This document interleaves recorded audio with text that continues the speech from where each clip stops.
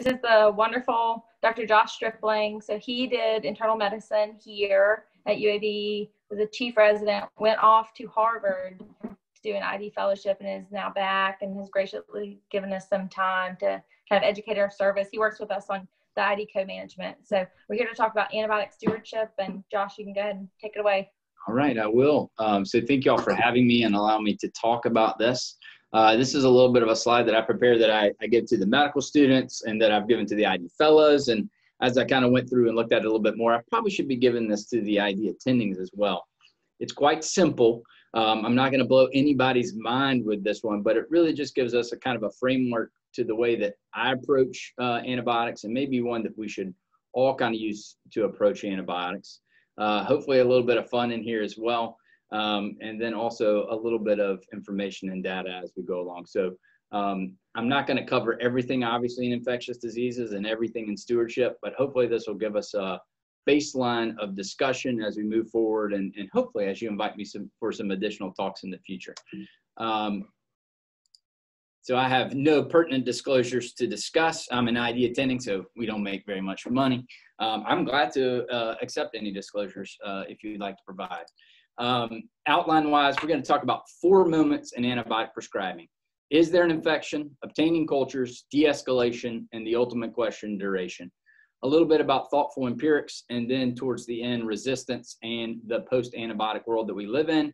Bacteria have numbers, but you have brains, and potentially we can defeat that. The objectives we're going to look at this mental framework. We're going to review some empiric antibiotics, a little bit of general on drug resistance, and then hopefully feel, uh, feel a little bit better about prescribing antibiotics. Uh, again, this was geared towards the medical students who are going into their intern year, so that needed to be edited, which I hope that it was, but it wasn't. Um, so, four moments in antibiotic thinking. This is a paper that actually just came out uh, by Tamma and the uh, and JAMA not too long ago, and it goes over four key points. And I think there are four key points that those of us who don't see very many patients, those of us who see patients every day, like y'all, those of us who've been practicing for 40 years, if you actually go back and look at the way you make these decisions, I think this sets a pretty good framework for us. Um, so these are going to be the first moments. But first, I have something for you.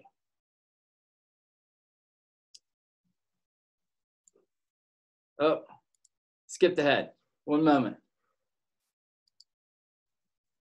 The following is a paid program brought to you by Ronco. This Showtime rotisserie and barbecue is now priced under a $100. That's right, it's now under a $100. Order it in black or order it in white.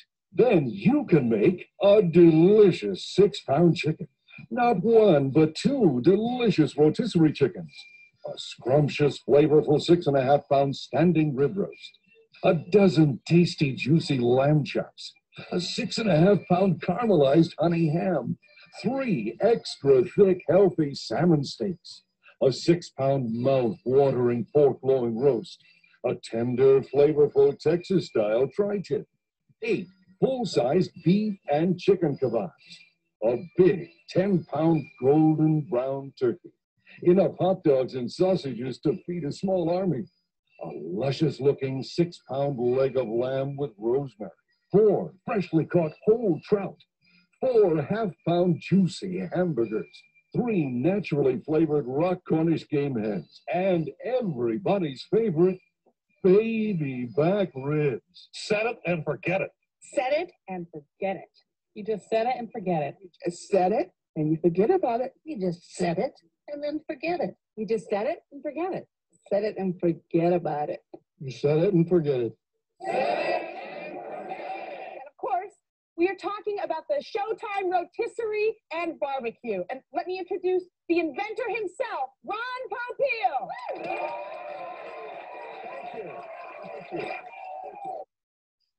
So the point there is don't be like Ron Popeil. Don't set it and forget it. That's not what we're looking for with antibiotics at this point in time. So yeah, it's funny. You get to see a bunch of rota- rotating meat, but I think you'll remember, don't set it and forget it. Um, so we'll go with our first case, Mr. SOB. And again, we wrote, wrote this maybe a, a couple, a year ago at this point in time, and this obviously has only gotten more, uh, more likely at this point. So a middle-aged man, increased shortness of breath, subjective fevers, rhinorrhea, dry cough, lower extremity edema. He's got a recent hospitalization, had some MRSA pneumonia, or at least a bunch of cultures that uh, grew MRSA. VRP is positive for rhinovirus. He's got edema. He's got everything else. This is what his chest X-ray looks like. And then the ultimate question: Well, what does Mr. SOB have? Right? Does he have an MRSA pneumonia again? There's just COPD, heart failure exacerbation, pulmonary edema, viral, all these things that go through our mind all the time. Now we get to add COVID into this. And then the question is, well, is it all of these things? Is it some of these things? Is it none of these things? And that brings us to moment number one. Does this patient have an infection that requires antibiotics? And this is the ultimate first question, and one often that I think y'all don't really get to make every time, right? They came from the ED, they've already been labeled as such. You're just continuing what they go through until the attending picks up the next day or somebody comes on and consults and tells you what's going on. But this is moment number one, right? Do they have an infection? Then, importantly, what is that infectious syndrome? And when we talk about an infectious syndrome, we're talking about is this a pneumonia? Is this meningitis? Is this a urinary tract infection? Is this an intra-abdominal infection? Is this somewhere where I can start to localize these infections? And when they do, you know, you can start to make those decisions about the next couple of moments that we're going to talk about. But that's really the first question. I'll also point out that an isolated fever, an isolated leukocytosis, somebody with altered mental status, or hey, the radiologist said this CT looks like this, is not classically specific for infection, right? You really have to put all these things together to figure out that syndrome. Then the other part is what are the possible non infectious explanations within this? is this possibly a non-infectious diagnosis? So one that we're always balancing, right, is this this thing that we need to give antibiotics for, and then what is that syndrome? Or is this something else that maybe I don't need to give antibiotics for? And you may really, I mean, we do this all the time, but it it really begs to kind of slow down a moment and say, well, what am I actually treating? And I think oftentimes on consults, um, we'll see these people that have multitudes of antibiotics and you know all this smattering. They've been seen by 25 different people and you know they say well what antibiotics do we need to do? And then initially the first question is well what are we treating right? And i think if we start at that space then it's a lot easier to know about what to do in the next couple of moments um, and also easier sometimes to say you know what this isn't an infection we can just move on down the line with looking at our non-infectious realities the other thing within this moment uh, that you also have to consider too which makes this job a little bit more complex is you have to consider the host, right? What are those comorbidities that could lead to the infectious or non infectious concerns? What are the recent treatments that they had? Do I need to be thinking about resistance? And then also, are they immunocompromised? Could they have a disease that's kind of presenting a little abnormally because of that? Or is it going to be a delayed presentation with more issues? And then, obviously, how sick is the patient, right? what is the risk of delay? If I make this decision tomorrow, if I make this decision in 48 hours, if I defer this decision and make it as an outpatient, what's the risk within that, right? So I think we're balancing all of these things together in this one moment, but it all comes back to that point. Does this person require antibiotics? This is one of those sections where uh, on co-management, we see this a lot. Uh, we see this a lot in our clinics as well. Um, but this is where does this person need antibiotics to me? So on the left side of this with the chart, this is the prevalence of asymptomatic bacteriuria reported in different populations. So um, obviously culture positive asymptomatic bacteriuria, they don't have symptoms, that's the definition, but they have a positive culture. And if you look down our individuals with indwelling catheters, which y'all have seen a million of them, long-term 100%, short-term catheter increase from there. And then you look at the smattering between women, intermittent catheter use, it's all really high. Um, so remember, just because you have a positive culture doesn't mean they have the syndrome that you're looking for, and especially in asymptomatic bacteria, you can see that. And the other one on the side is just a little small snippet of uh, recommendation uh, that comes out of the guideline from the IDSA for the management of UTIs. And this is in individuals who have asymptomatic bacteria, these older folks who are way up in the risk of elderly, um, talking about 20% prevalence within this, um, where if they come in with delirium without any localizing signs of GU symptoms, there is no recommendation for treatment of that bacteria and that you should look for alternative possible causes to dementia. This is right out of the guidelines for the management of urinary tract infections. Now, there's a whole nother talk that I could give you based on this specifically. So we'll leave it at that to say a lot of people have positive cultures and not everybody who comes in confused has a urinary tract infection. Now, some do, but not all of them. Um, we'll move on next to question number two. So you got Mr. SOB that we saw before with the bilateral pneumonia and the positive rhinovirus, and then maybe some other smattering of everything else. So what are you going to do, right? Start vancomycin, vancomycin because it came out of the ED and it was started. Linezolid because he got vanc before, and why not use a nice PO agent? Nothing. That's probably my opinion. Send some sputum cultures and viral respiratory panel, a ProCal because heck, I don't know, maybe that'll help. Call an upper level, call a whoever, uh, call the ID consult, or you could really do something else, right? So that brings us to moment two. Have I ordered the appropriate cultures before starting antibiotics? This is my biggest thing in ID. Culture negative infections are incredibly hard to treat. I don't know if they're infections or not, and if they are, I have no idea what they are. But culture positive infections are much easier. Make your life easier, get the cultures. You call us and you say, hey, this is MRSA. I say, cool, I can manage that. You call us and say, hey, I got this guy who's had fevers for three days, uh, leukocytosis, um, you know, surgery, seen him four or five times. They've taken it, OR, never drew a culture. How long do I need to treat this guy? Right? I have no idea. Um, so the idea here is get the cultures from them. The other point, and this is what often is said, is, well, I didn't have time to get cultures. I didn't have time to order that. And you're you're right. Sometimes severity of illness requires us to start broad therapy with no time of delay in between. And I completely buy that. But you can still consider the source and obtain those cultures um, after that for appropriate diagnostics. Yes, there is going to be a reduction um, in some of these individuals of the cultures being positive or being valuable for us. And, you know, that that's okay. We'll deal with that in these very sick individuals. Um, but at the same time, there has definitely been plenty of studies that have said, you know what, the culture results are still okay too. Um, so, you know, just because you started them on antibiotics empirically doesn't mean I shouldn't get my cultures. And you should definitely consider your cultures before you start it. Mr. SOB again, the VRP returned positive for paraflu. His wife had the cold three days ago. He had a low ProCal. He improved to four liters of nasal cannula um, with some mild respiratory distress and uh, some, of course, breath sounds. So the next question. With new clinical data, what are you going to do for Mr. SOB? Well, I now have a diagnosis. He's not 100% better, but he's looking okay. I'm going to continue the vancomycin. This guy's still a little sick. He's on four liters. I'm going to switch to vancomycin. I'm going to change whatever I can do. Call an ID consult. Maybe I'll get a sputum culture now. What should I do? Right? So this is moment number three. A day or more has passed. Can I stop antibiotics? Can I narrow therapy? Or can I switch from IV to PO? You obtain great cultures. Use them, right? Positive or negative. Positive cultures are very helpful they allow you to know if you can de- uh, escalate to other things, what you're treating, how long you need to treat it. But also, negative cultures are valuable too. Sometimes, when there's not an infection, the cultures are negative, and we should treat them as such from that standpoint. If the diagnostics suggest an alternative, don't be afraid to stop treatment. I always find it fascinating with antibiotics is they're the one thing that we really do not want to pull off, right?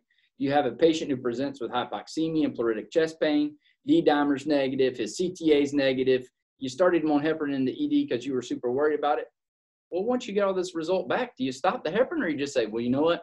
When he came in, I was very concerned about him potentially having a PE. I'm going to keep going. That doesn't happen uh, with antibiotics very frequently. You have someone who presents and it said, well, you know, I, I, I had some burning when I urinated, right? And then all of a sudden you find out that they have you know, a stone in place and hematuria and whatever else, we still continue those antibiotics.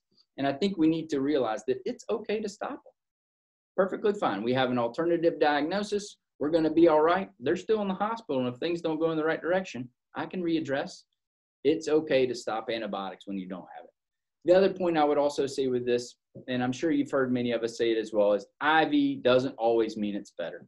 PO antibiotics are just as good as IV in a lot of situations and sometimes are preferable for many, many reasons.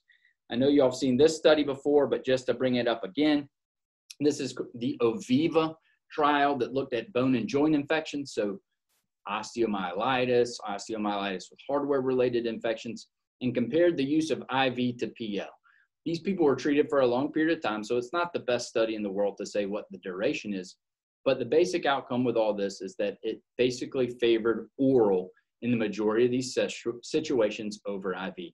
And it was a smattering of oral medications, beta lactams, fluoroquinolones, uh, Bactrim, all these things. If you put them all together and over this group of treated people, oral is just as good as IV from that. There are some caveats where IV may be necessary. And if you look at Oviva, if there's hardware in place, or if you have a culture negative infection, IV is favored a little bit more within that. But don't forget, your oral antibiotics are your friends, and they are just as good as IV when chosen correctly. Moment number four, and this is the ultimate question ID. What duration of antibiotics is needed for the patient's diagnosis? This, again, I will confess, is not always easy. And honestly, it depends. Where's the site of infection? What's the pathogen that I'm treating? Who's the host that I'm treating this with? What are the smattering of other situations that we're all considering within that? But I will tell you that in almost all studies, randomized, retrospective, whichever way you look at it, all studies have shown that a shorter duration is better. Now, you could say, well, that's just because we overtreat everybody, which may be a possibility. Um, but I can really only think of one, and that's otitis media in kids, where they recommended a little bit of a longer course of therapy, but ain't none of us treating any kids. Um, so that's the only space there from that. Uh, trial that I'll bring up within this group is a trial of short course antimicrobial therapy for uh, intra-abdominal infections. This is the bane, uh, I'm sure, of y'all's existence because it also involves that you have to use a bunch of surgeons when you have intra-abdominal infections or IR folks. It's the bane of ours too because they call us just as frequently and say, well, how long do I need to treat this for? And I say, well, y'all put out a study about five years ago that told you exactly how long you were supposed to treat this. This is known as the stop it trial. And what it looked at is people with intra-abdominal infections, abscesses, uh, cholecystitis, things otherwise, who had source control and source control was either operative surgical management or IR drainage. Looked at giving them four days from that source control, that period where it was defined, or a prolonged course looking at where they had absence of fever, improvement in leukocytosis, and treating them until that point, which was an average of eight days. There was absolutely no difference in outcomes of those individuals who had successful source control.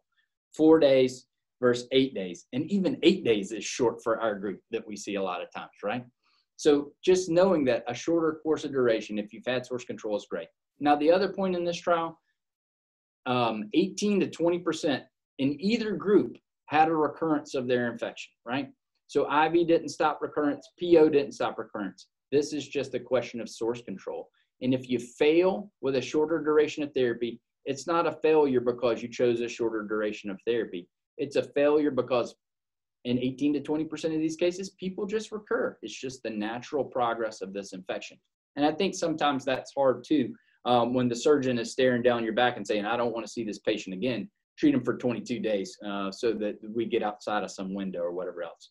We're working on an RI end, and, and hopefully this information will help y'all do the same from there. So this is uh, just a culmination of a couple of studies that have come out. This is Spellberg uh, out of JAMA back in 2016. And basically looks at this idea. For community acquired pneumonia, we now know that five days is as good as the seven days that we did before. Nosocomial pneumonias, seven days. HCAP therapy, seven days. VAP, seven days. We don't need the 14 days anymore. Pyelonephritis, depending on the agent that you have, five to seven days. We don't need 10 to 14 days for everybody with antibiotics. Intra-abdominal infections, we talked about four to 10. Acute exacerbations of COPD, less than five. Sinusitis, five. Cellulitis, another one that y'all see quite frequently. Five days. It's probably effective therapy within a lot of these people with cellulitis. That doesn't mean the erythema is going to be gone. Sometimes that takes a little bit of time. Um, but five days is, is sufficient there. And then chronic osteo, as we talked about, um, with the OVIVA trials there um, have a shorter duration within that group on some caveats if they've had source control and things otherwise. So again, shorter duration within that group is going to be better there. So thinking about antibiotics, right? Here's our four things here. Does this person have an infection that requires antibiotics? Yes, no. Could this be an infectious syndrome? Possibly. Have I ordered appropriate cultures? Remember, culture negative infection is incredibly hard to treat. Positive, a heck of a lot easier Has a day passed where I could change IV to PO, or could I just stop antibiotics at this point in time? And then four, I've identified my infectious syndrome. I have my cultures that are helping me out. I've de-escalated. How long do I need to treat this? And the answer there, shorter is going to be better from that standpoint. So remember our friend Ron Popeil, don't set it and forget it. Antibiotics are not like that. They're not the rotisserie oven. Um, they are uh, have some limits, and we'll talk about that a little bit. So empiric antibiotics, this is just brief. Um, so the infectious syndromes, right, they are numerous. Meningitis, encephalitis, pharyngitis, otitis, URIs, pneumonia, and empyema, endocarditis. But if I can define within this syndrome, right, then I can start to figure out where I need to take my cultures and then what I need to do from there. So in empirics within this course, how are you going to choose, right? You have a patient present, you suspect a diagnosis of an infectious syndrome, you say, man, this feels like I need to get an LP and I'm gonna call uh, my friendly procedure service and ask them for that LP tonight. And then I'm going to think about what could that potentially be? Is this a bacterial process, a viral process? And then I'm gonna put those best antibiotics in. Or is it gonna be like the ED? Patient presents, whoop, sick, vanc and Zosyn. Let's move on down the road. Admit them to hospitals. They can figure it out later on down. Um, sometimes that happens, right? So we want to be the the type A folks. We don't want to be the type B folks from that standpoint. So some of my choice thoughts, right? When we talk about empirics, if I could only be one antibiotic, what would I be? If I'm an IV guy, I'm going ceftriaxone. This thing is the jam. Uh, now, ceftriaxone, I know for a lot of people is a one gram versus two grams, or is it two grams Q12? I used to try to be like this incredible ID doctor who could knew exactly when one gram was necessary or when two grams was necessary. I, am going to confess, I really don't know. Um, I know one gram will work for some people, but trying to decide between the one or two is like, well, it was only a partial centimeter close to the bone, so I think I can go for one, or ooh, two centimeters into the bone. That's a two gram ceftriaxone. Two grams all the time, just two grams. Just remember it, two grams. And then if it goes into the brain, then it's two grams twice a day, right? Makes things a little bit easier for me. Um, one gram, who cares? Just throw it out. It is actually in your uh, pneumonia guidelines for uh, one gram, uh, which we'll fix eventually. It needs to be two grams. And if I'm a PO agent, I'm going to go with Bactrim. I got MRSA, I got gram negatives. Uh, I have excellent oral bioavailability. I get into the soft tissues. I can be used empirically to treat urinary tract infections. Just a great drug. Um, so I keep that in my armament all the time. And if I can either get to those two antibiotics with my decisions, I'm going to be a happy guy. Um, what about specific pathogen concerns? Um, there are many, many things that we could talk about here, and one lecture can't do it justice. So, uh, if this works for you, I would love to talk to you about some more of those specific pathogens if we need to, or some of those specific syndromes too. Um, and hopefully, we'll have a little bit of time at the end to kind of talk about uh, some questions or some of those things there as well. So gram positives, strep species, we're talking about our penicillins, our cephalosporins, uh, cefazolin first generations or ceftriaxone, and then our good friend the linezolid, incredible strep coverage with all of those as well. I don't need to think about everything else. This is a streptococcal cellulitis. Uh, let's just go with one of these agents. I think you've probably seen us a lot uh, on co-management. Somebody's on vanc and we'll say, stop that vanc, just give them cefazolin, we're done. Um, MSSA, we talk about our anti-staphylococcal penicillins, NAF and OX, and then our first generation cephalosporins, best drugs for MSSA within that. Nafcillin versus cefazolin uh, is an interesting question. If you have a really high uh, burden of bacteria, I usually swing over to the nafcillin. If I'm worried about side effects and things otherwise, I usually swing over to the first generation cephalosporin. MRSA treatments cover our MSSA, but those anti-staphylococcal penicillins and first generation cephalosporins are obviously better. MRSA, we got Vanc, we got Dapto, Linezolid, and Ceftaroline. All of y'all are very familiar with these agents as well. Um, a short push on vancomycin. We are hopefully moving away from troughs. Probably going to take us a year to get there, um, but we're going to move to this really cool um, Bayesian modeling system that looks at AUC over MIC where we can actually tell you if the level uh, of vancomycin outside of that trough range uh, is going to be effective for that patient. So when you get a trough of eight, is that still going to be okay? Or in some of these individuals where you're never going to get there, we're going to be able to switch to those alternative therapies much faster. It's coming. Maybe Highlands first. Uh, but really a cool future for MRSA treatment with vancomycin. Um, so uh, really looking forward to that. Uh, Enterococcus, the aminopenicillins and our penicillin, uh, penicillins, uh, aminopenicillins are amox and amp, uh, daptomycin and the linezolid within that. I often ask the question, what is the best treatment for VRE? The answer to that is ampicillin if it's susceptible. Um, and oftentimes you will see a lot of these isolates that are VRE that are still maintaining ampicillin susceptibility, and that should be chosen above the other ones within that. Gram negatives, enterics, or you may see uh, the word enterobacteriaceae as you're looking across uh, some of these studies. You got your cephalosporins moving into your generations of second and third generation there, fourth generation with cefepime, uh, beta-lactam, beta-lactamase inhibitors, our aminoglycosides, they're coming in hot and fast. We haven't used them for a, a couple years, so their uh, susceptibility rate is starting to climb. I absolutely, absolutely love gentamicin uh, for urinary tract infections for individuals who have uh, normal creatinine. Um, it's going to work for about everything.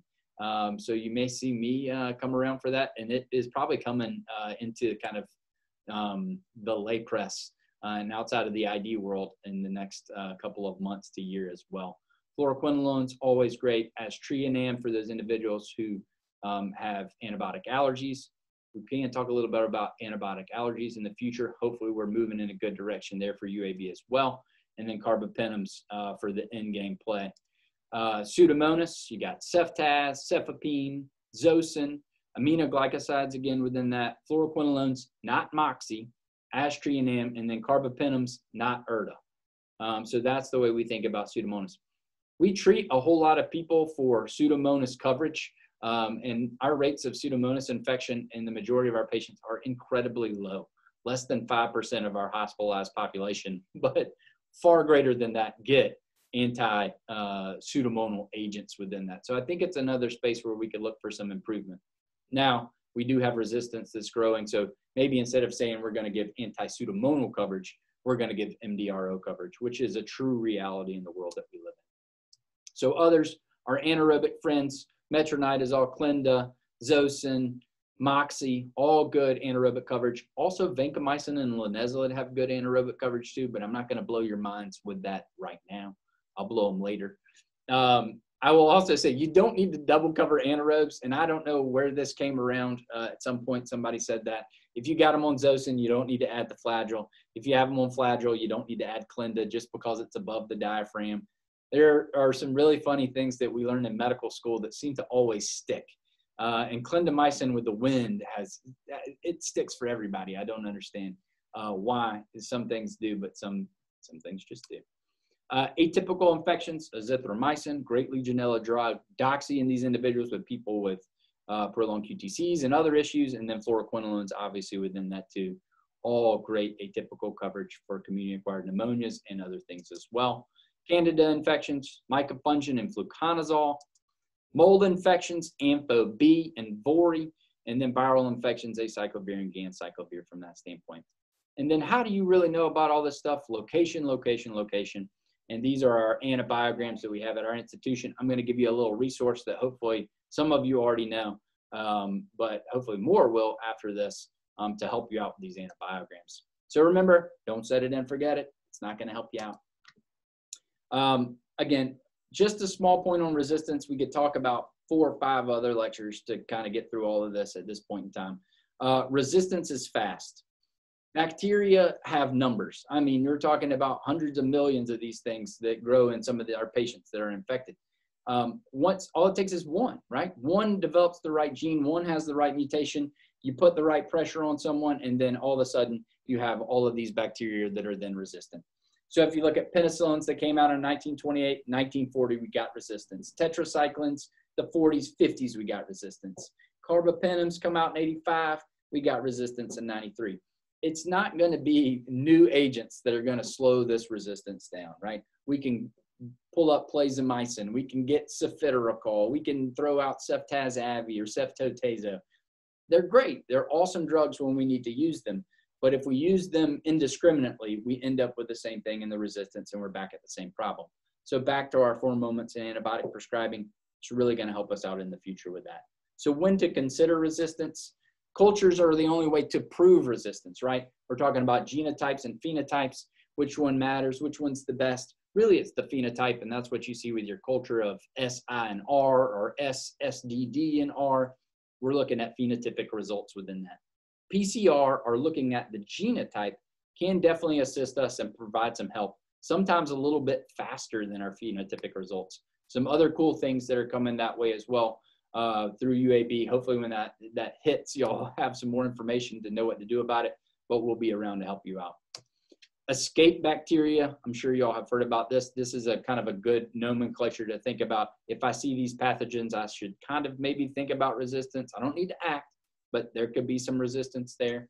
These are Ephesium or our VRE, much likely than our Faecalis. MRSA, which you're all familiar with, Klebsiella, the same way, Acinetobacter, Pseudomonas, and then Enterobacter. These pathogens, they are not inclusive of everything, but ESKAPE gives us all these and gives us an idea uh, to think about when do I need to consider resistance. AMP-C producers.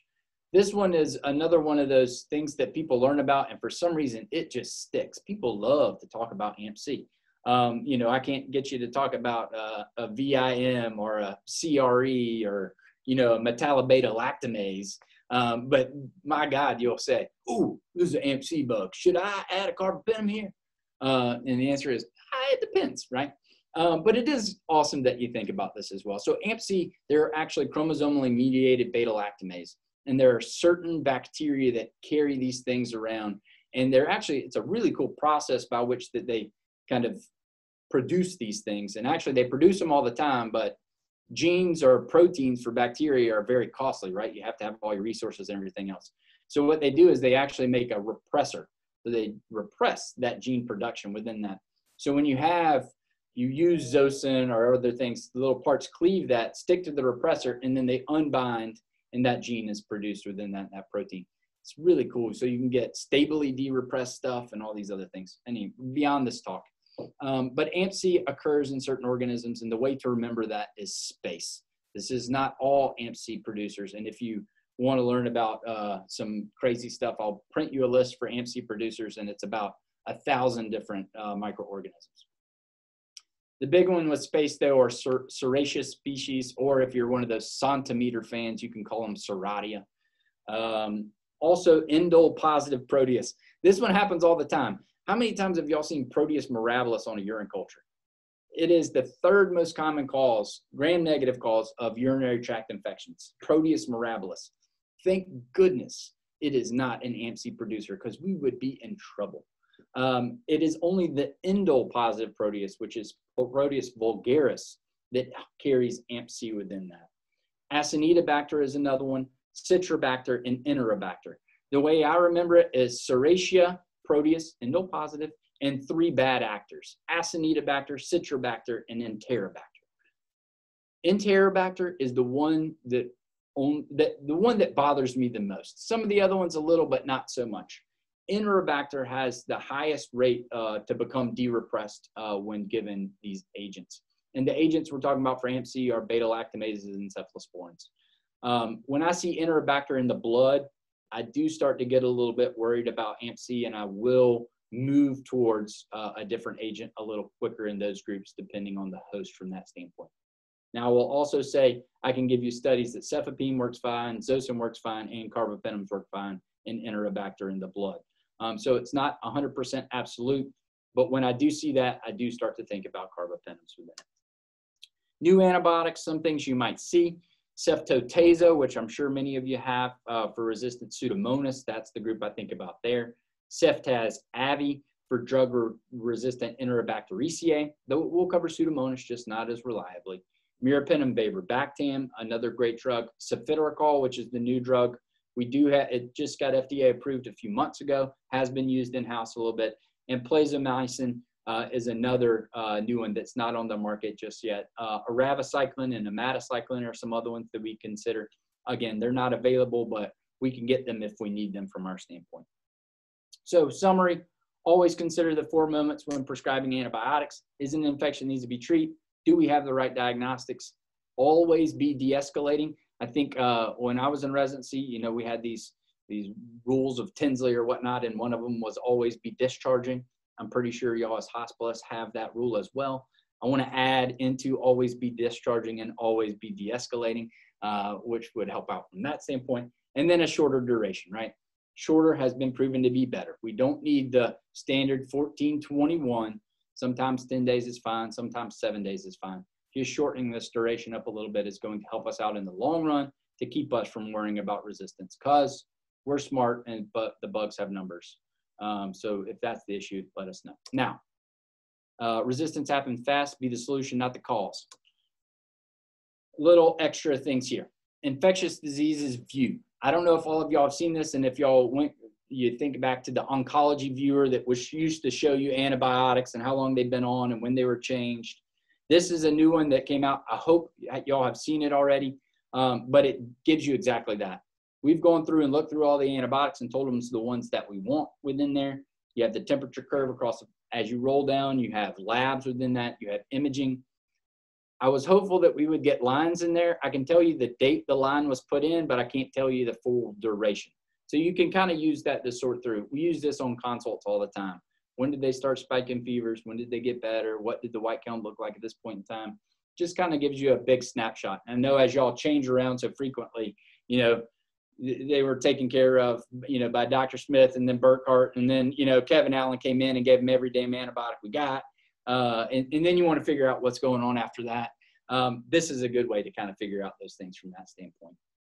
Um, also, when you click on this, there's this little thing called the Sanford Guide. I think a lot of y'all know the Sanford Guide. It's that little uh, book that's so pretty that Mike Saag is one of the editors of that a lot of us carry on to make us look smart. It is now available online. So if you click within the links to clinical apps on the side, there is the Sanford Guide. And UAB uh, has paid for, and we have available through some of the stewardship, but really UAB enterprise wide, where you can get this on your phone as an app. Uh, my phone's right here. And then, uh, you know, nicely, you just click on the Sanford Guide, and then boom. Oh, you can't see it. Oh, well. Big bummer um, but you have it available for you within there. You can download it onto your phone, um, but in order to do that, to get access, you have to go through the UAB system. So when you click onto this, be sure you're at a UAB link computer, you register for it, and it'll send you a link to download it to get access to it on your phone. Once you get access, it's, it's yours. You don't have to be on a UAB network to use it. I use it at home all the time. One really nice part um, and you'll see in this yellow circle over here, it has UAB. So that thing about antibiograms, we are actually moving our antibiograms into this resource. So if you say, hey, Josh, I saw you said um, something about, you know, ephesium and VRE risk and then how often it's susceptible to ampicillin. You can go in here and you can look at that, right? You want to know how many of our Acinetobacter baumannii are carbapenem resistant. You can go into that and look from that standpoint. And it just helps you out with the empirics and then puts it right at your finger so you can use it from that standpoint. I think it's super helpful and I use it a lot. Josh, um, we, have, and we have one question. Somebody asked how do you feel about the John Hopkins antibiotic guide? Um, I I think they're all fine. I think um, both Sanford and Johns Hopkins uh, leave a lot to be desired in certain areas, but I think they're good places to start. They're not, you know, they're not clearly exactly the way that things are supposed to go. Just because you're seeing it that way and somebody's doing a little bit different doesn't mean that it's wrong. But I do think it's a good place to start and a good place um, if you really don't know where you're going or what's going on or something new. It's the thing to pick up uh, and look at. So I don't have a problem with either one. This one's just free. Um, I think we can get Hopkins through the School of Medicine, but I don't think you can get it as all clinical enterprise um, from that standpoint. This gives you the added benefit of having the antibiograms together within that. Um, so here you go. Here's how to install it and do all that stuff. And then uh, questions, woo, I think I did okay, um, for set it and forget it at that point in time. Anything to discuss, uh, anything over that, anything you want to talk about in the future, uh, let me know.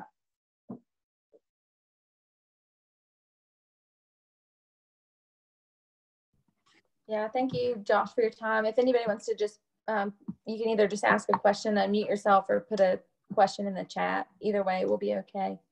Um, while we let them put questions in, Josh, anything that you've noticed, like since you do ID consults, any any areas you think that we as a service could improve or things you see over and over to be good stewards?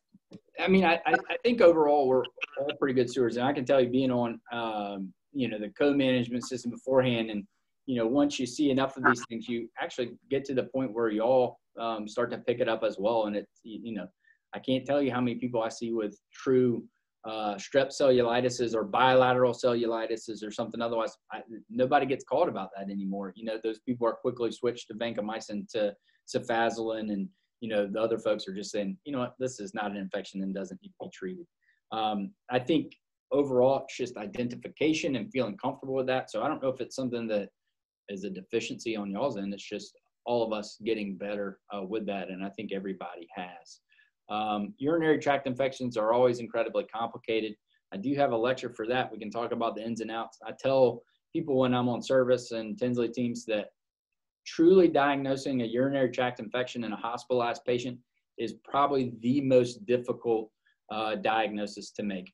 The two things that everybody hedges on the urine culture and the urinalysis uh, in the patients that are in the hospital, they are usually always positive. I mean, all of these people are, are the highest risk for asymptomatic bacteriuria, so the urine culture is always going to be positive. The majority of these people have an AKI or some other kind of renal insult or a Foley in place that's going to make that UA positive. And I can't tell you how many times people just say, dirty UA positive, will initiate therapy.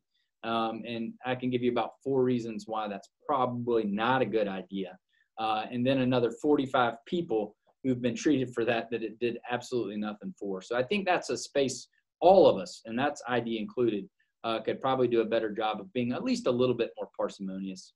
Um, I do recognize that that is difficult.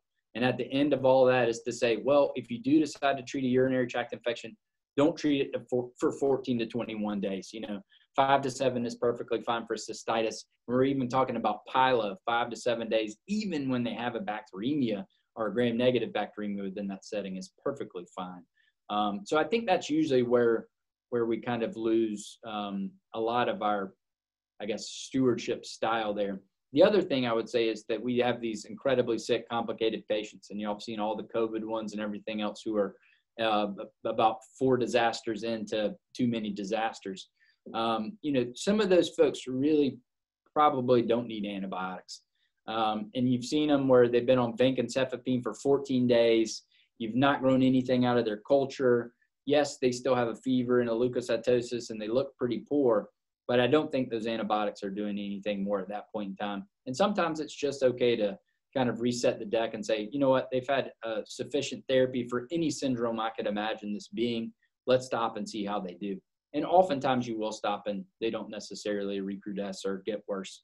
But the reality is, is if they do, you start back over. Let me get my cultures, get everything else again, and then you know we can we can start afresh from that. So I think that's the space where I start to see uh, additional um, stewardship, not failures, but but issues.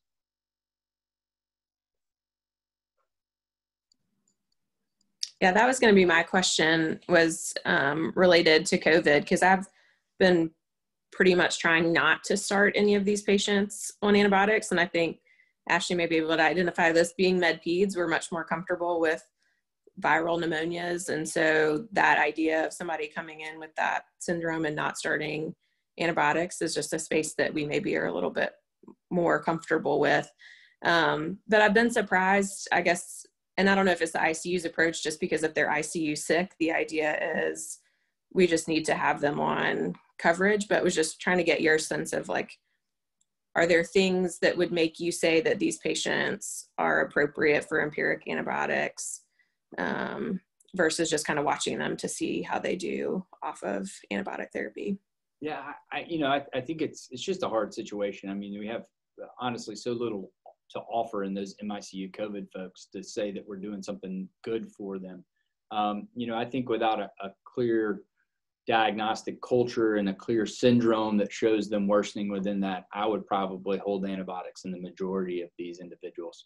Um, now, that's to say that there is probably a risk of secondary bacterial infections in these individuals, um, but I would say that it's probably a lot less than we think and definitely a lot less than we treat. Um, the majority of infections, unfortunately, that I've seen in COVID persons have been hospital associated infections um, in them, whether it be um, you know, a central line infection, fungemia, intra-abdominal infection, some other kind of complication related to that. Those are the ones that we regularly see, but that's it's a little easier to define and treat um, within that. I will say that we are definitely starting to see, and I think it's because of this, much more resistant pathogens.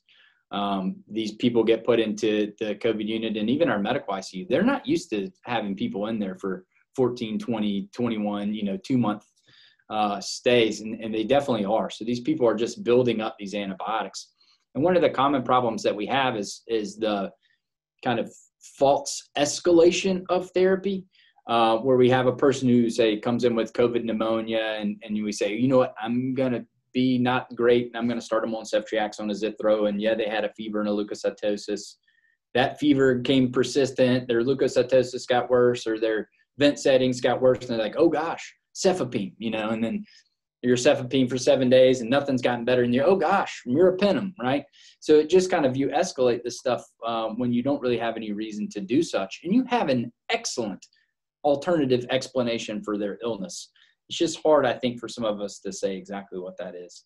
Um, and and, and I, I grasp the difficulty, but I, I think we're, we're over treating a lot of those people. And kudos to all you Med Peds folks for teaching us. Uh, you don't need to worry about that.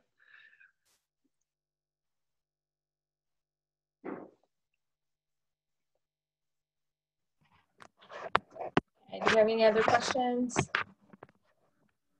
Any other topics?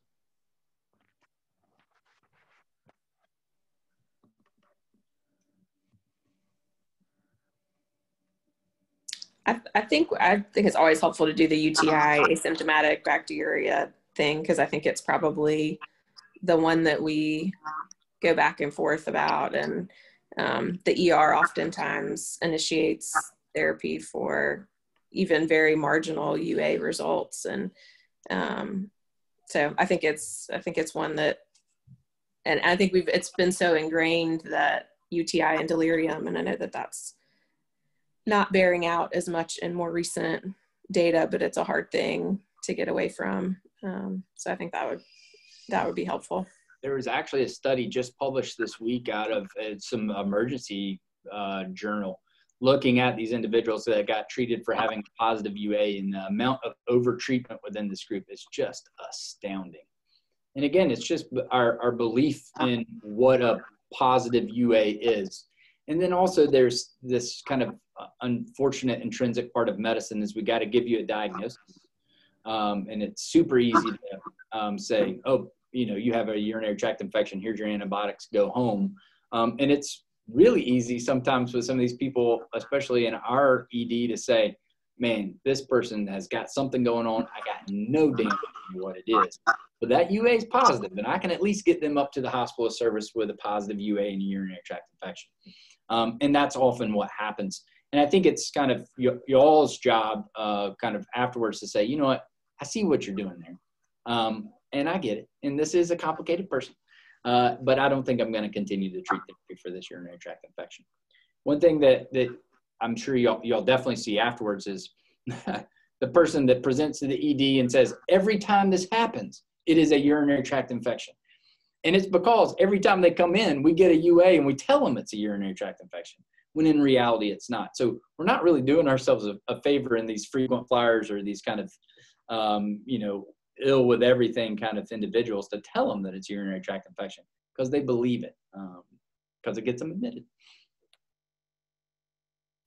Well, and you alluded to it too, but I think the indwelling catheter patients, because those are, you know, we have several of them that end up at Highlands that have had the sepsis in the ICU. And so distinguish, you know, knowing that they're all colonized, I think sometimes it gets very complicated deciding, you know, is whatever random symptom they came in with actually related to this UA that I know is going to look atrocious every time they come in. And so many of them are spinal cord patients too. So I think there's a dysautonomia element of it that fakes this, you know, it's hard to differentiate. Is this, are they hypotensive because they're septic or are they hypotensive because they're spinal cord patient and that just happens to them sometimes. Um, so I think that's a that's been a particularly difficult population for me personally to step away from doing empiric antibiotics, even though I know there's a colonization issue with them. And you know, I, I think that's absolutely you've got the that person in septic shock and a fever, right? Look, okay, you know, there's no no discussion. But if you got someone who comes in with a little hypotension, um, you know, you, you, can definitely give them a little bit of fluid and just see what happens, right? You can say, you know, maybe maybe this is an infection, but I'm not sure.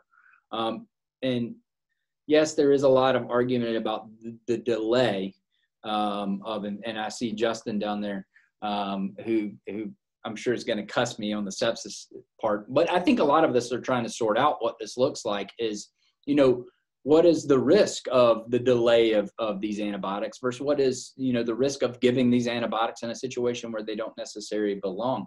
Um, so I, I, think it's a hard thing to sort out. And I, I you know, I think sepsis is, is very important. We need to treat it. But I think uh, we, in some instances, put the cart before the horse um, with the use of these antibiotics uh, earlier um, when in a situation, sometimes maybe, maybe we could wait a little while before that happens.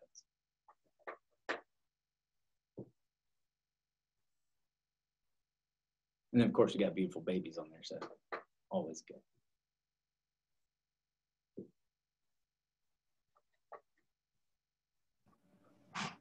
Okay, well, I think if that's all of our questions, Josh, we appreciate your time. Thank you to everybody for tuning in on Monday. We will definitely have you back for some other topics. And yeah. appreciate it again.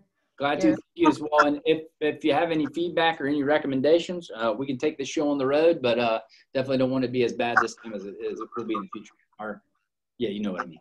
Anyway, thank y'all. All right. Thank you guys. Have a great evening.